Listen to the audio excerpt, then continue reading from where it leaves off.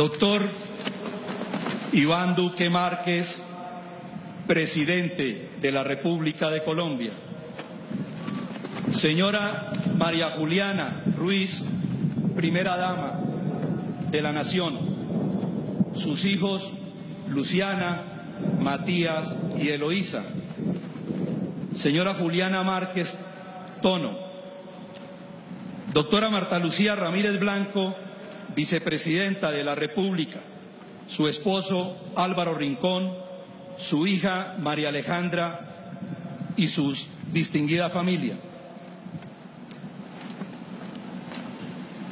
Excelentísimos señores presidentes de los Estados Unidos de Mexicanos, Chile, Argentina, Ecuador, Panamá, República Dominicana, Costa Rica, Guatemala, Estado Plurinacional de Bolivia y Honduras.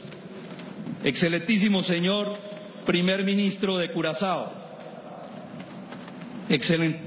Excelencia señora Vicepresidenta de Paraguay, señores expresidentes del Reino de España y de la República de Chile, señor presidente electo de Paraguay, distinguidas señoras, su excelencia, señora presidenta de las Cortes Generales de España, su excelencia, señor presidente del Parlamento del Reino de Marruecos, señor, señores ministros de Estado, secretarios generales, presidentes de organismos internacionales, embajadores, parlamentarios y jefes de delegación de misión especial acreditados para la transmisión de mando presidencial. Su Excelencia, Reverendísima Arzobispo de Bogotá y Primado de Colombia, señoras ex primeras damas de la Nación, señores expresidentes de la República de Colombia, señores ex vicepresidentes de la República, señores miembros del cuerpo diplomático acreditados en nuestro país, señores expresidentes del Congreso, doctor Alejandro Carlos Chacón, presidente de la Cámara y vicepresidente del Congreso de la República, señores presidentes de la Corte Constitucional, la Corte Suprema de Justicia, Consejo de Estado, Consejo Superior de la Judicatura y Consejo Nacional Electoral. Señores vicepresidentes del Senado y de la Cámara de, Representantes, senadores de la República, representantes a la Cámara, señores ministros designados y altos funcionarios designados, señor fiscal general de la Nación, señor Procurador General de la Nación, señor Contralor General de la República, señor Registrador Nacional del Estado Civil, señor Defensor del Pueblo, señor Comandante General de las Fuerzas Militares de Colombia, señores Comandantes del Ejército Nacional, Armada Nacional, Fuerza Aérea Colombiana, Director General de la Policía Nacional y Jefe del Estado Mayor Conjunto de las Fuerzas Militares, señor alcalde de Bogotá, señores oficiales generales de insignia y de las fuerzas militares y de, la Policía Nacional, señores gobernadores, señores magistrados de las altas cortes, señores alcaldes de Colombia, gobernadores de Colombia, señores presidentes, gerentes, directivos y representantes de las organizaciones y empresas nacionales e internacionales, señores secretarios, generales del Senado de la República y de la Cámara de Representantes, señores diputados, concejales y ediles, señores directores y colegas periodistas de los medios de comunicación nacionales e internacionales, señores invitados, Blanca Mercedes, María Jimena, Jorge Ernesto, María Camila y Felipe, señoras y señores.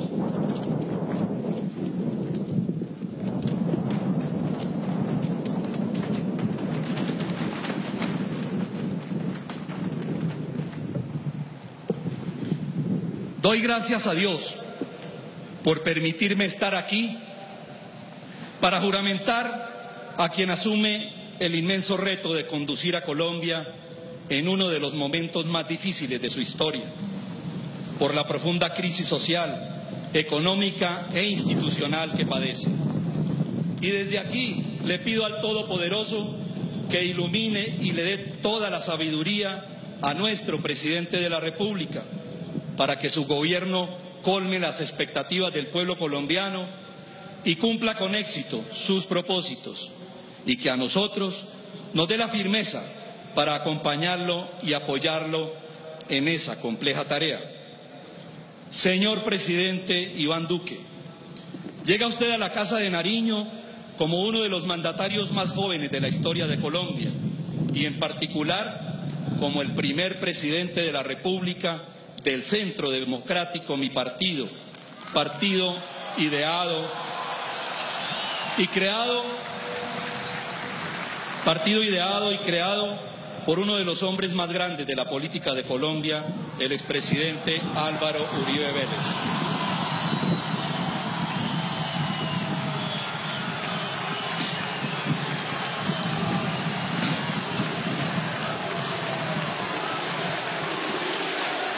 Permítanme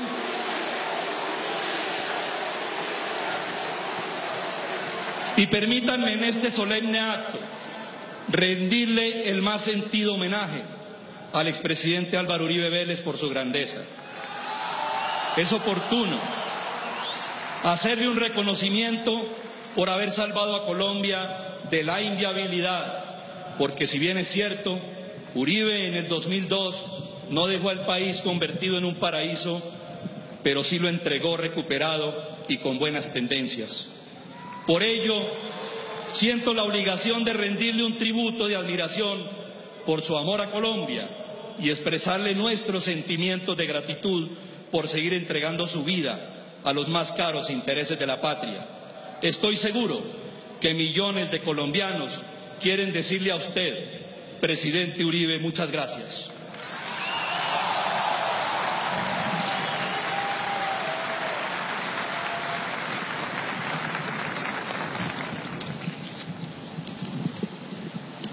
Presidente Iván Duque.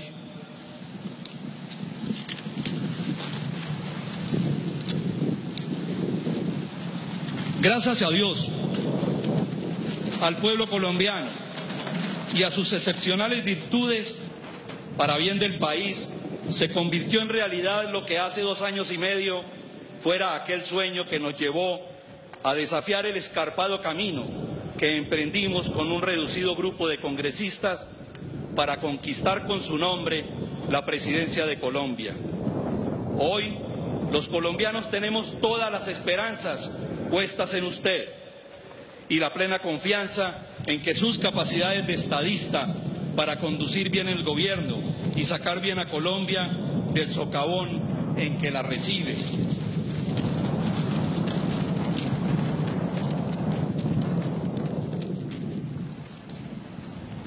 Porque hoy, presidente Iván Duque, recibe usted un país con las cifras más preocupantes de la historia, en lo social, en lo económico y en lo institucional. El expresidente Juan Manuel Santos, desde finales de 2010, abandonó la política de seguridad, de seguridad democrática y hoy entrega el país inmerso en una guerra que a la fecha deja más de 300 dirigentes cívicos y comunales asesinados solamente en los dos últimos años. Hoy, presidente Iván Duque, recibe usted un país atemorizado porque regresaron los crímenes a uniformados de la fuerza pública, reaparecieron los secuestros y creció la extorsión, la cual aumentó solo en el año 2017 en el 295% frente al año 2010. Hoy recibe usted un país, presidente Duque, en donde las voladuras de oleoducto crecieron el 104% comparado con 2010. Hoy recibe usted un país donde el hurto a personas aumentó el 186% y los delitos sexuales se incrementaron en un 319%. Hoy recibe usted un país con un crecimiento exponencial de las organizaciones criminales como el ELN, el EPL, las disfrazadas disidencias de las FARC y las BACRIM, grupos terroristas que se financian con el narcotráfico y la minería criminal. Le corresponde a usted, presidente Duque, como comandante supremo de la fuerza pública, no solamente realizar los relevos en la cúpula, sino generar un cambio en la mentalidad de los nuevos comandantes para recuperar la seguridad y la tranquilidad de los colombianos.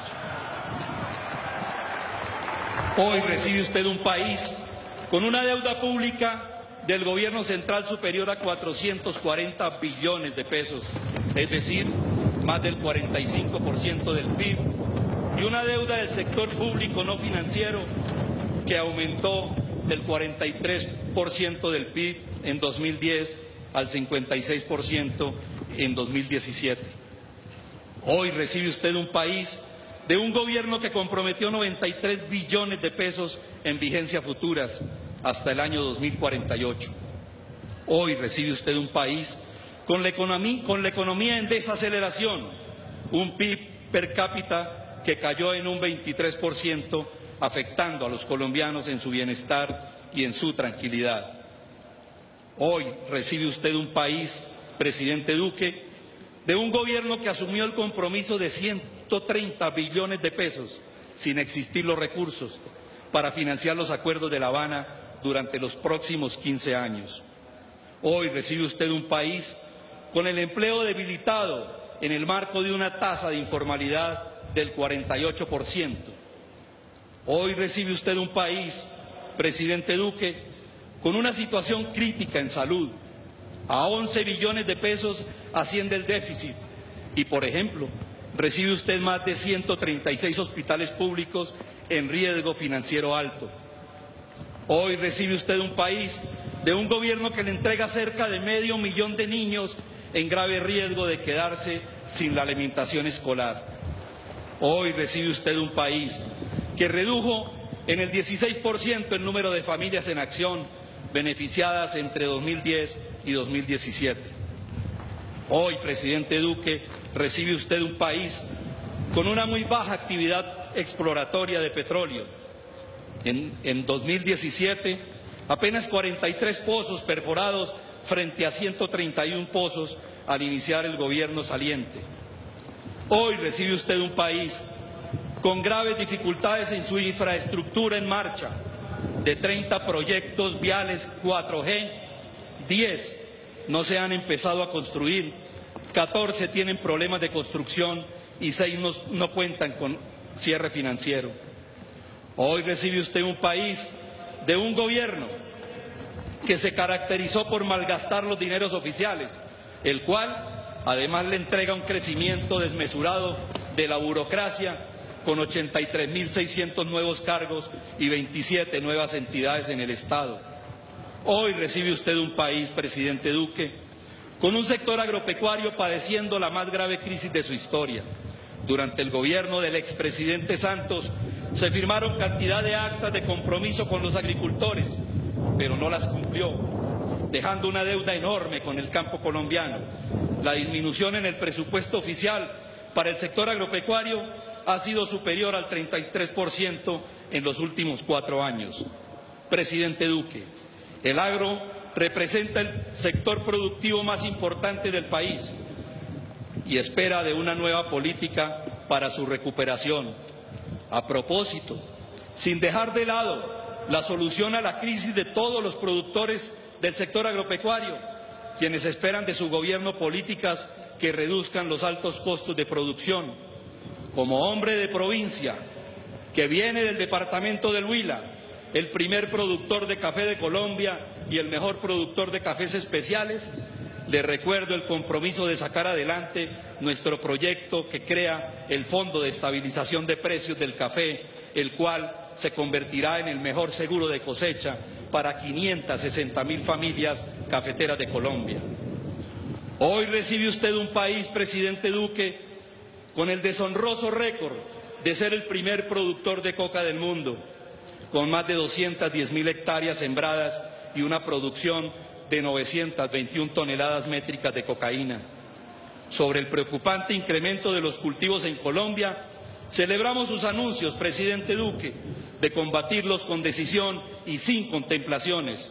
El solo hecho de acabar con la erradicación voluntaria en donde no se cumpla y si es necesario volver a la fumigación es un avance esperanzador. De ese flagelo tenemos que librarnos en los próximos cuatro años.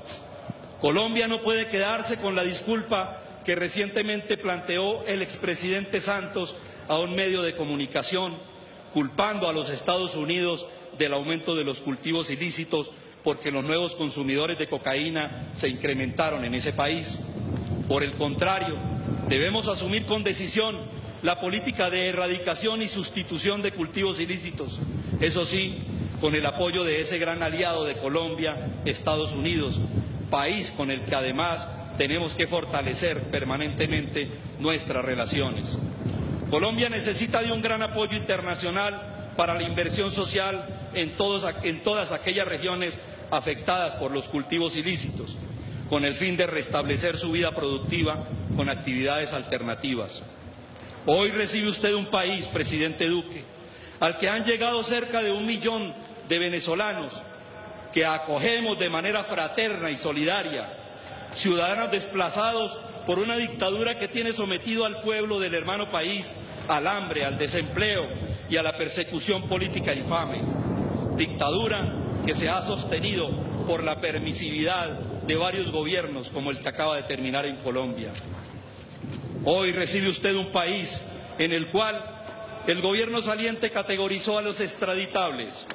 A usted le corresponde recuperar la autoridad y extraditar a todos los narcotraficantes sin excepción alguna. Hoy Recibe usted un país con millones de víctimas sin atención del Estado. El gobierno saliente las utilizó como bandera política, pero no las atendió. Inclusive las víctimas de las FARC fueron ignoradas en los acuerdos de La Habana. A pesar del oscuro panorama de nuestro país, usted ha dicho que no gobernará con espejo retrovisor ni con espíritu revanchista, lo cual corresponde a un presidente de la República de su talante, porque además usted debe dedicarse a gobernar sin distraerse en asuntos distintos. Pero al Congreso de la República, como poder independiente y autónomo, le corresponde el control político. Y mientras usted, presidente Duque, desde el gobierno dobla la página de un sombrío legado que recibe, el Congreso no puede permitir que se borren las páginas de un periodo presidencial marcado por el derroche y la corrupción. Colombia, colombianos. Estamos empeñados en colocar nuestro grano de arena para la recuperación de la dignidad y la imagen del Congreso de la República. Ustedes quieren ver a su Congreso trabajando de tiempo completo, sin descanso, por el bienestar del país. Un Congreso que no esté sometido por el Ejecutivo ni arrodillado al Poder Judicial un Congreso que delibere con amplitud y tramite con celeridad las iniciativas que buscan la recuperación de Colombia. Tenga usted la seguridad, presidente Duque, que contará con el compromiso del Congreso de la República para tramitar las grandes reformas que usted presentará, porque el país las necesita, las está esperando y reclamando. Queremos demostrarle al pueblo colombiano que este Congreso es capaz de sacar adelante una reforma estructural a la justicia, que conlleve a una administración eficiente y eficaz y que recupere su imagen afectada por la corrupción de algunos de sus miembros. Los colombianos esperan ver a sus jueces pronunciándose estrictamente en derecho y, que en sus fallos no se vean afectados por sus inclinaciones políticas, por sentimientos personales o por otros intereses. El Congreso está decidido a tramitar una reforma política que contemple la reducción del tamaño de las corporaciones de elección popular, comenzando por el propio Congreso, que establezca las listas cerradas, que limite los periodos de los corporados y que, y que modernice el sistema electoral, entre otros aspectos. El Congreso espera de su que su gobierno radique muy pronto la reforma fiscal anunciada por usted, la rebaja de las tarifas de los impuestos, incluyendo el IVA, y la modernización del sistema tributario es una necesidad apremiante que los colombianos están esperando. Es urgente tramitar una reforma al sistema de regalías para devolverle a las regiones productoras gran parte de los recursos que les fueron arrebatados, sin afectar a las regiones no productoras. Es apremiante adelantar una verdadera reforma rural y de tierras que respete la propiedad privada y proteja al tenedor de buena fe que trabaja honradamente en Colombia.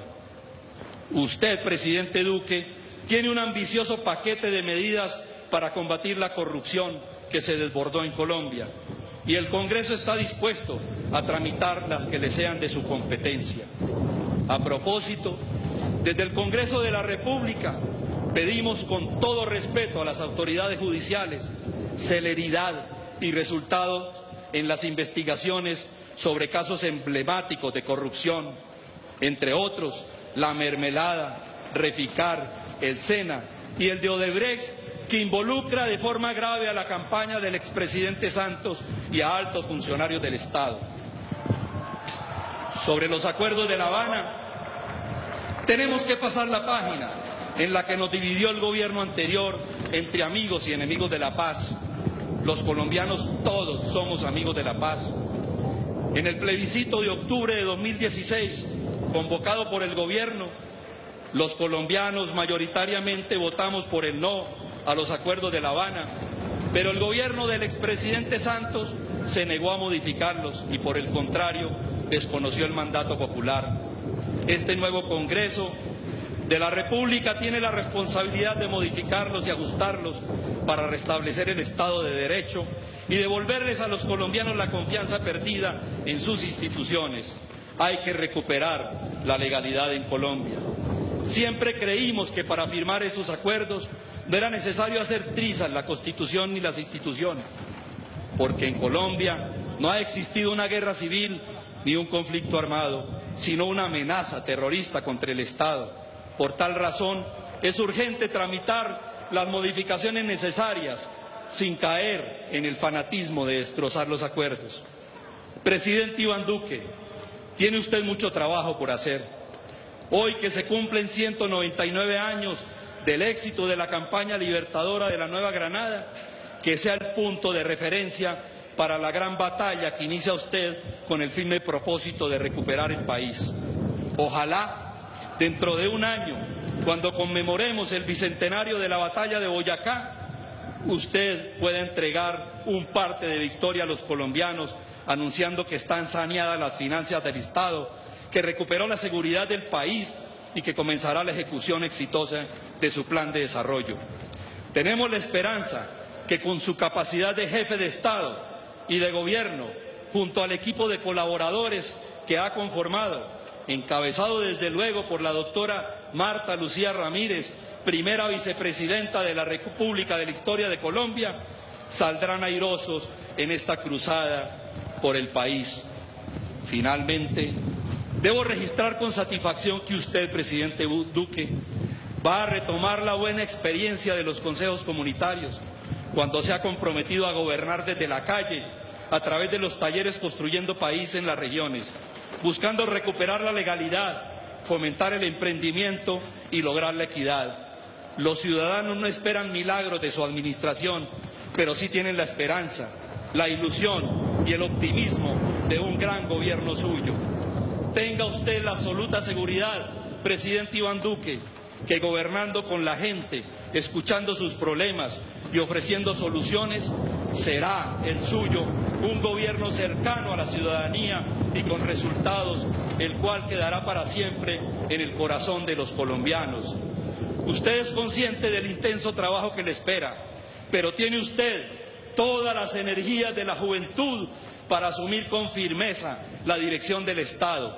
Adelante, señor presidente, que Dios lo acompañe y lo proteja. Muchas gracias.